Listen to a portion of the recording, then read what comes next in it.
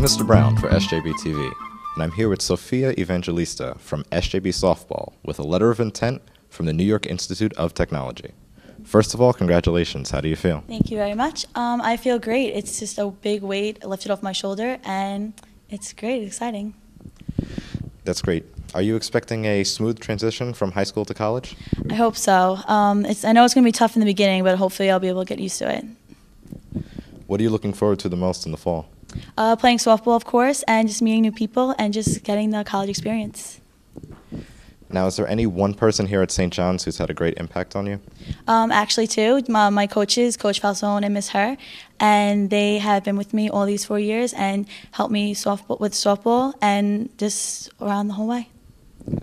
And finally, what will you miss the most about St. John's? I'll miss the um, like the close knit like and like everyone uh, here and all the teachers and all my friends. Well, that time has come. Are you ready to sign your letter? Yes, I am.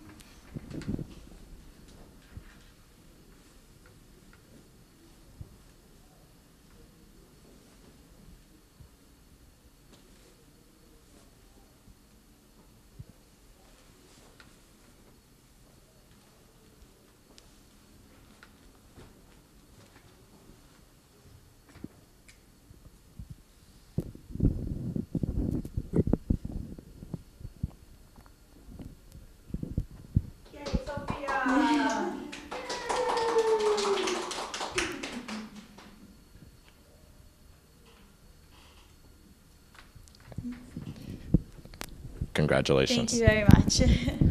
This is Mr. Brown for SJB TV.